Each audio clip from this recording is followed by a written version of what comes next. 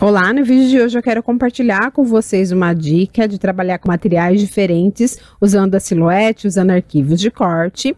E esse aqui é um personagem da minha coleção Pequeninos, e eu vou mostrar passo a passo para vocês como eu fiz essa moldurinha, esse quadrinho. Bom, para fazer o quadrinho eu usei uma moldura, que é um arquivo de corte meu. Eu fiz a impress... ah, o corte dela usando a silhuete portrait, Usei papel craft 240 gramas e fiz uma pátina falsa. Vou deixar linkado aqui o vídeo de como eu faço isso. E fiz um fundo com a impressão de um papel digital. Fiz o corte do EVA, que também vou deixar linkado aqui nos cards e na descrição do vídeo, de como fazer o corte na silhuete Curio. E fiz o corte nos papéis, no que eu queria fazer branco e no que eu queria fazer o detalhe do olhinho e os cílios. Para pigmentar EVA, nós vamos usar giz pastel oleoso, vou usar cola quente, vou usar cola pano. E a gente vai pigmentar aqui agora. Eu vou usar o giz pastel da tonalidade um pouquinho mais escura do que a cor da pele da ovelhinha que eu quero, que fique um detalhezinho aqui, pra gente dar noção, ter a noção, né, de profundidade aqui dos detalhes do rostinho dela. Vou passar onde eu quero fazer a coloração e vou esfumar com o dedo mesmo. Vou fazer isso na parte de, do rostinho dela, onde eu quero fazer a coloração. E agora eu vou fazer a, a bochechinha também, fazendo o mesmo processo. Vou fazer o detalhe, um detalhezinho no narizinho dela. Vou usar o branco pra gente fazer um pouquinho de luz aqui. E vou escurecer só em um dos lados depois também, usando um pouquinho do marrom. Mas nada muito forte, só pra realçar um pouquinho esse, essa lateralzinha aqui do, do EVA. Vou posicionar aqui onde eu quero que ela fique pra gente colar. Antes mesmo de colar, posiciona certinho. Vou colar o olhinho. Como é papel, eu vou usar cola pano. Ajeitar aqui os cílios. Vou colar o outro olhinho.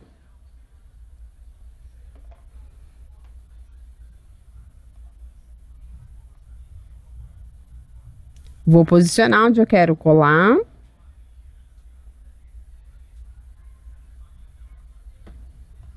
Vou posicionar aqui o, cabelinho dela.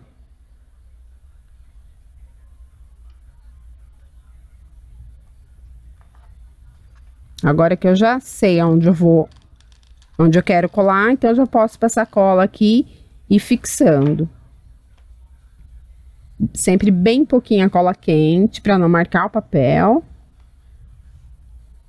Agora eu vou posicionar novamente os olhinhos para ver onde eu quero colar para ficar o mais centralizado possível.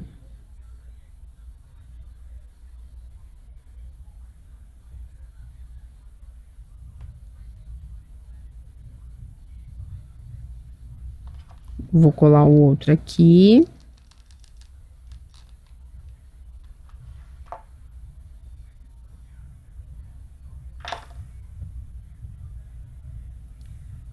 Quando a gente vai colar papel com EVA, a gente precisa usar cola quente. Agora, papel com papel, a gente usa cola pano mesmo.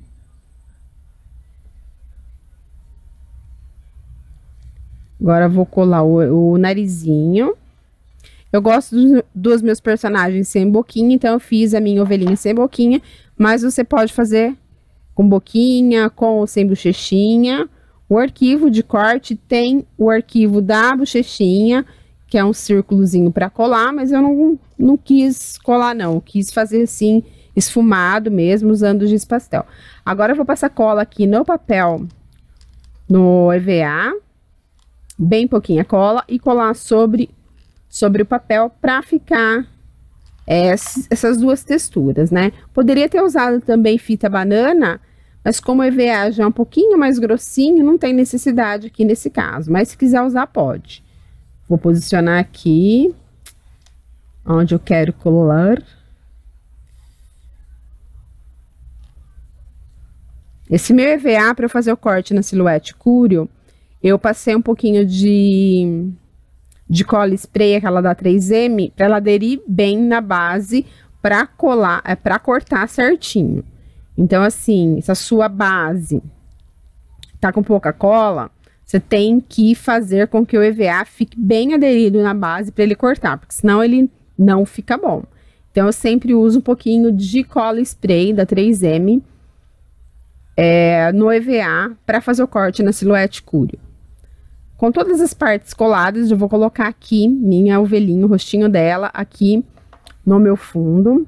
Esse fundo, como eu falei, é um papel de scrapbooking digital impresso. Fiz a impressão também no papel offset.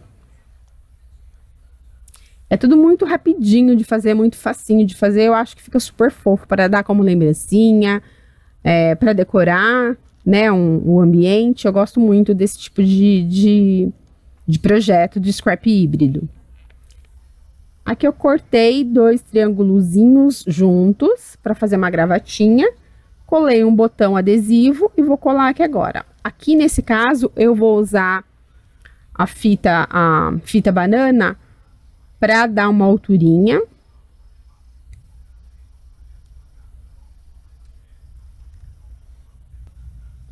Detalhezinho aqui, não preciso colar dos ladinhos não, eu quero que fique assim mesmo, soltinha. Então, é, era esse meu projeto de hoje.